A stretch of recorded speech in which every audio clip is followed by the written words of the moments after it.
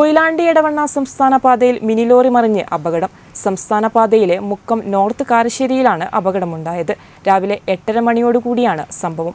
അരീക്കോട് ഭാഗത്തു നിന്നും കോഴി തീറ്റയുമായി എത്തിയ വാഹനം നോർത്ത് കാരശ്ശേരി മാടാമ്പുറം വളവിൽ നിയന്ത്രണം വിട്ട് മറിയുകയായിരുന്നു. അമിത വേഗതയാണ് അപകട കാരണമെന്ന് നാട്ടുകാർ പറയുന്നു. വാഹനത്തിലുണ്ടായിരുന്ന ഡ്രൈവർ ഉൾപ്പെടെയുള്ള മൂന്നുപേരെ പരിക്കുകളോടെ ആശുപത്രിയിൽ പ്രവേശിപ്പിച്ചു.